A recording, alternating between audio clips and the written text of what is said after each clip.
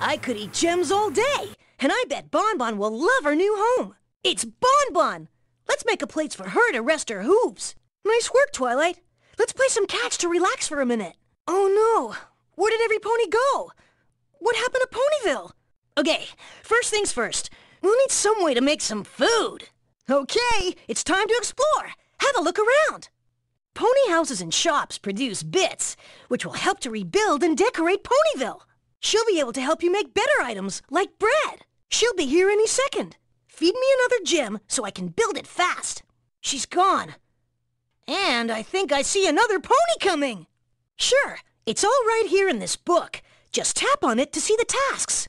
The more ponies there are in the building, the more items you can make. They can only help if their star level is high enough, though. This is terrible! What are we gonna do? Twilight, can you help out at the windmill? I'm getting sleepy. We're in a hurry. You can feed me a gem, and I'll build this quick. When Bon Bon gets here, she can help you in the windmill, Twilight. Wow, Twilight! You played so well, you earned a star! You never know what you might find. You've got the windmill. Move it to where you want and set it down. Mmm, yum!